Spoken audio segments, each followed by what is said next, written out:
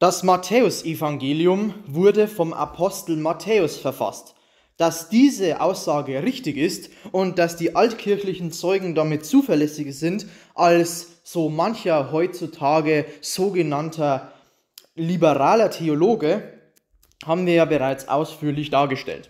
Das bedeutet, es gibt beste Gründe, textinterne wie externe Evidenz, dass das Matthäusevangelium ein Werk des Apostels und des Jesusjüngers und damit des Augenzeugen Matthäus gewesen ist. Und wir haben auch festgestellt, dass die Argumente, die gegen die altkirchliche Tradition hervorgebracht werden, derart schwach sind, dass sie in einem wissenschaftlichen Kontext eigentlich keine Erlaubnis haben, standzuhalten. Wenn wir das Evangelium dem Apostel Matthäus zuschreiben, können wir ein Szenario zeichnen, das zeigt, dass die Evangelien direkt auf Augenzeugenberichten basieren. Denn der Apostel Matthäus war nicht nur bei öffentlichen wirkungsmächtigen Reden und Taten Jesu anwesend, sondern war auch noch Zöllner.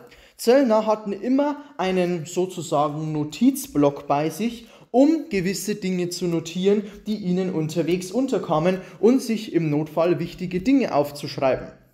Und wenn wir annehmen, Matthäus sei mit einer Schiefertafel direkt neben der Bergpredigt gestanden, dann lässt uns dies vermuten, dass wir tatsächlich den authentischen Wortlaut Jesu haben. Neben allen anderen Argumenten ist dies eine logische und wirklich durchgängig dies bestätigende Zusatzannahme, der wir tatsächlich verdanken können, dass wir das Neue Testament nicht nur aus diesem, sondern auch aus anderen Gründen, aber auch unter anderem aus diesem Grund als historisch zuverlässig beschreiben können.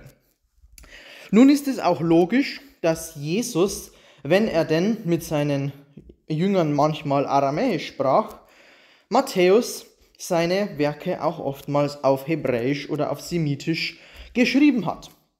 Das bedeutet, wenn wir tatsächlich damit rechnen können, dass Matthäus sein Werk übersetzt habe, beziehungsweise dass Matthäus das, was er aufgeschrieben habe, seine Notizen aufgeschrieben hat, ja, dass er die dann noch ins Griechische übersetzt hat, um es eben einem breiteren nicht-semitischen Publikum zugänglich zu machen, ist dies ebenfalls eine logische Annahme, da Griechisch damals die Verkehrssprache war. Eine Sache dürfen wir dabei nicht aus den Augen vergessen.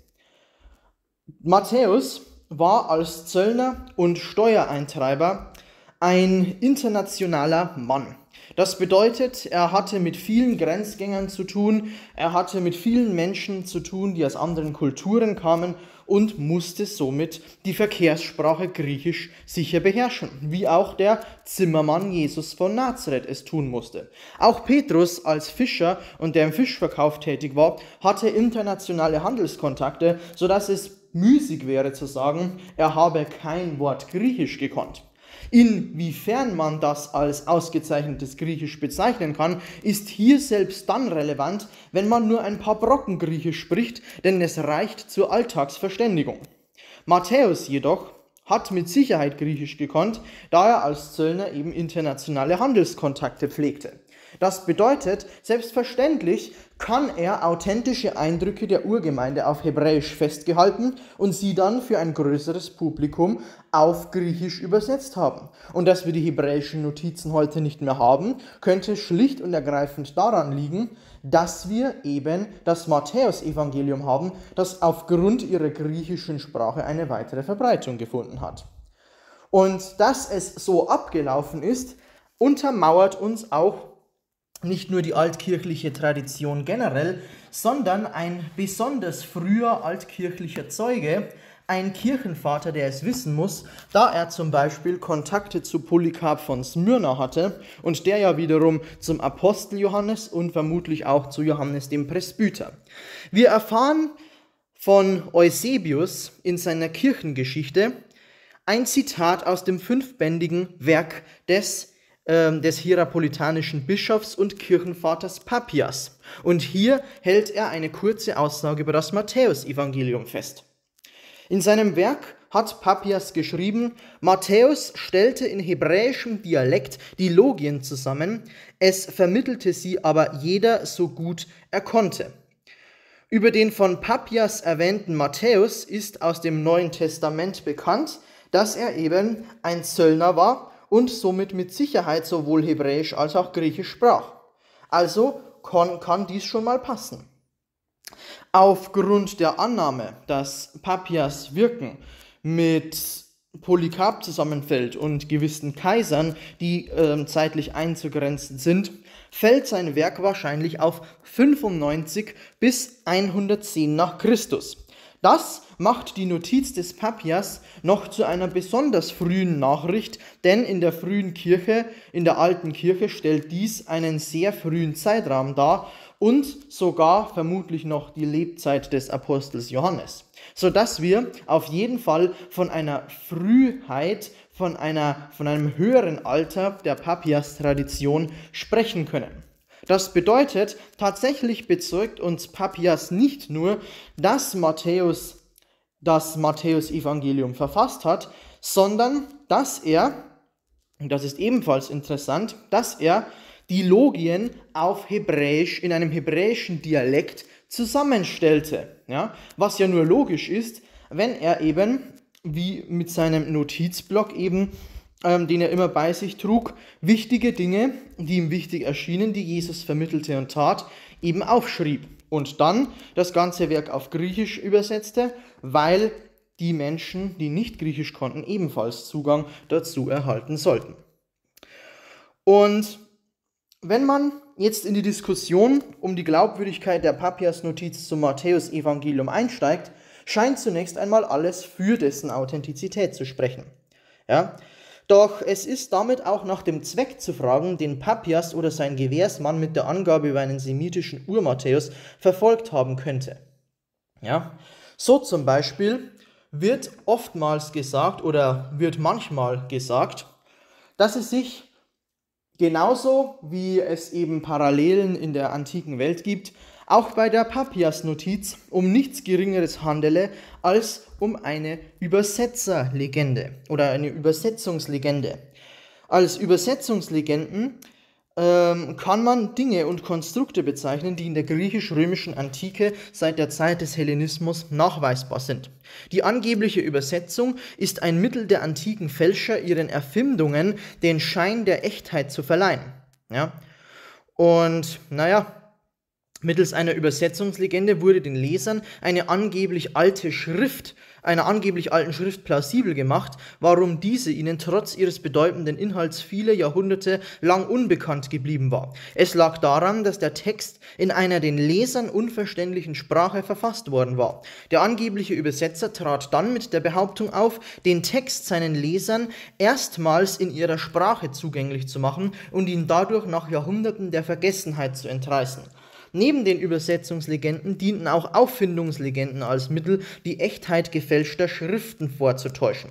Häufig kombinierten die antiken Fälscher dabei diese beiden Kunstgriffe miteinander. So ist im 5. Jahrhundert ein Fälscher der Akten des Prozesses Jesu verfahren. Ja? Im Fall des griechischen Matthäusevangeliums und der Papias-Notiz wurde dies zwar in Erwägung gezogen, aber in diesem Fall kann eine Übersetzungslegende aus mehreren Gründen keinen vergleichbaren Zweck erfüllt haben und scheidet als Erklärung somit aus. Zunächst einmal ist es wichtig, dass es sich beim Matthäusevangelium zu Beginn des zweiten Jahrhunderts nicht um eine alte Schrift, deren hohes Alter durch eine Übersetzungslegende plausibel gemacht werden musste, handelte. Das Matthäusevangelium war Anfang des zweiten Jahrhunderts, was auch zum Beispiel Zitate im ersten Clemensbrief und Zitate bei Polycarp zeigen ja, und frühe äh, Manuskriptbefunde zeigen und die Kirchengeschichte grundsätzlich zeigt. Ja. Das Matthäusevangelium entstand im ersten Jahrhundert und das Matthäusevangelium hatte zu Beginn des zweiten Jahrhunderts eben eine weite Ausbreitung erfahren und war erst einige Jahrzehnte alt gewesen. Zweitens handelte es sich beim Matthäusevangelium zu Beginn des zweiten Jahrhunderts, wie bereits gesagt, nicht um eine unbekannte Schrift, deren plötzliches Auftauchen durch eine Übersetzungslegende plausibel gemacht werden musste. Das griechische Matthäusevangelium war, wie Zitate in den Schriften der apostolischen Väter zeigen, zu Beginn des zweiten Jahrhunderts bereits als maßgebliche Quelle für das Leben Jesu und als heilige Schrift anerkannt.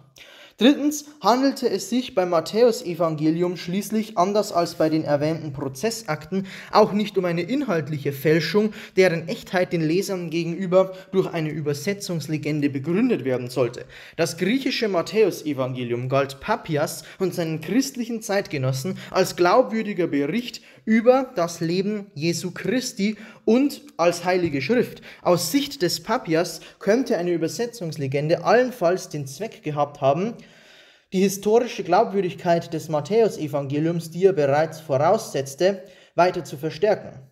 Ja, aber wenn wir sehen, ähm, diesen Einwand, wenn wir den genauer uns ansehen, ja, dass Papias eine Übersetzungslegende allenfalls zum Zweck fingiert habe, die historische Glaubwürdigkeit des Matthäusevangeliums zu verstärken und eine Übersetzungslegende des Papias für das Matthäusevangelium einen ähnlichen Zweck erfüllen sollte wie die Markus-Notiz, ja, also dass das Markus-Evangelium auf den Apostel Petrus zu, zurückgeht oder auf den Dolmetscher des Apostels Petrus, was wir bereits als historisch glaubwürdig auch erwiesen haben, ja, äh, dann hätte das eben einen solchen Zweck erfüllt.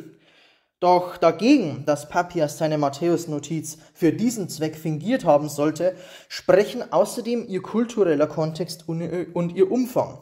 Zur Zeit des Papias im frühen Judentum und im frühen Christentum war die Ansicht verbreitet, die griechischen Übersetzungen heiliger Schriften seien nur dann akzeptabel, wenn sie durch wunderbare Begleitumstände als vom Geist Gottes inspirierte Texte gewesen worden waren.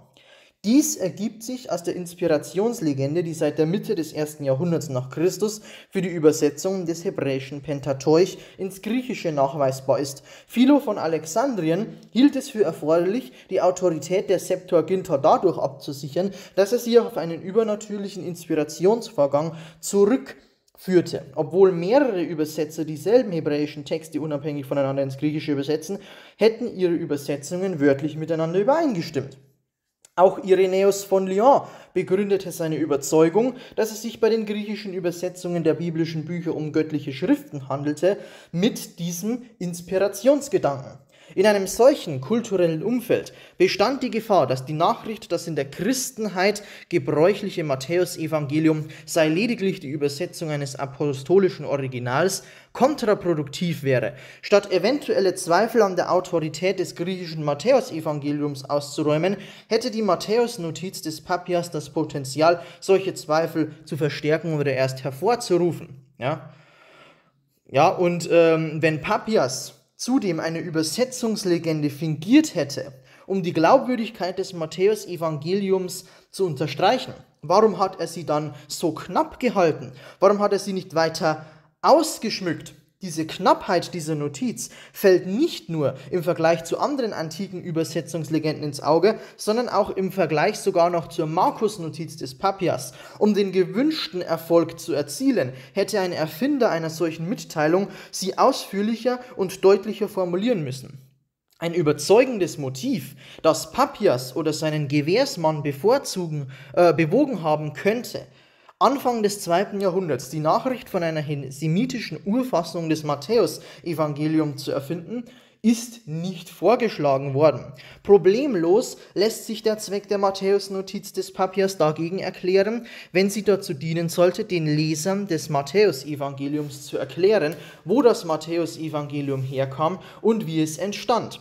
Somit ist die Matthäus-Notiz des Papias eine frühe Notiz, eine Notiz, die von anderen Kirchenvätern geografisch unabhängig bestätigt wird, die vor dem Hintergrund der Ausbildung und des Lebens des Apostels Matthäus und der antiken Gepflogenheiten und der antiken Schriftkultur plausibel erscheint, dass man sich grundsätzlich gut vorstellen kann.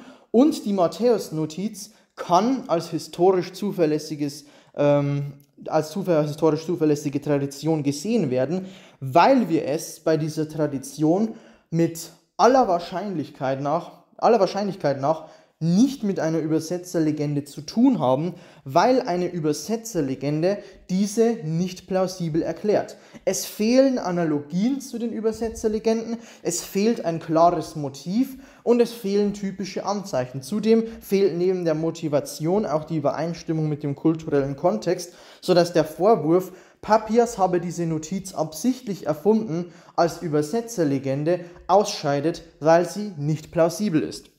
Was bedeutet das für uns? Dass uns Papias von Hierapolis und die anderen Kirchenväter zuverlässig die Tradition überlieferten, unabhängig voneinander und historisch zuverlässig, dass die neutestamentlichen Evangelien auf Apostel zurückgingen, auf apostolische Autorität. Wäre dies nicht der Fall gewesen, so zeigt die Kirchengeschichte, hätten die Kirchenväter diese Schriften mit ziemlicher Sicherheit nicht als Kanon oder als zugehörig zum Kanon der Heiligen Schrift anerkannt. Ohne eine apostolische Autorität, die hinter einer Schrift stand, ist es undenkbar, dass man eine Schrift in, den, dass man eine Schrift in die Bibel aufgenommen hätte. Das bedeutet für uns, dass Matthäus nicht nur das Matthäus-Evangelium verfasst hat, sondern dass das Matthäus-Evangelium auf Notizen des Apostels Matthäus zurückgeht, die er bereits machte, als er noch mit Jesus zusammen war. Dies alles zeigt, dass die neutestamentlichen Evangelien auf das älteste Material überhaupt zurückgehen und dass wir dem historischen Jesus damit so nahe kommen, dass wir nur die Evangelien zu lesen brauchen, um zu erfahren, wer der historische Jesus war.